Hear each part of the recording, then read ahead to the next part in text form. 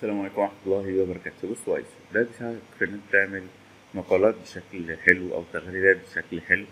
يعني أي حاجة موضوع بتفكر فيه تكتب بس يعني إيه الموضوع وتقول له create فهو يبدأ يعمل لك كذا محتوى وتبدأ تنشره على التويتر مباشرة. فزي ما أنت شايف بالشكل دوت تمام؟ أي واحدة فيهم تعجبك ممكن أنت تختارها وتعمل لها schedule بحيث إنها تنشر بعد فترة. أو ممكن post now ويبدأ ينشرها لك على طول. تمام؟ فبالشكل دوت أنت بيساعدك كتير في إن أنت تنشر في الموضوع اللي أنت مهتم بيه.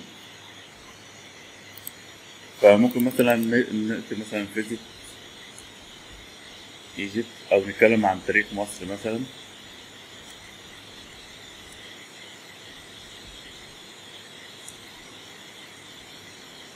يبدأ يعمل لك المواضيع ال- أو ال posts اللي أنت ممكن share ها بس حتى الآن ما تنشرش غير لما تقعد تقرأ وتتأكد إن مفيهاش حاجة غلط أو ممكن يصغرك في حاجة تمام؟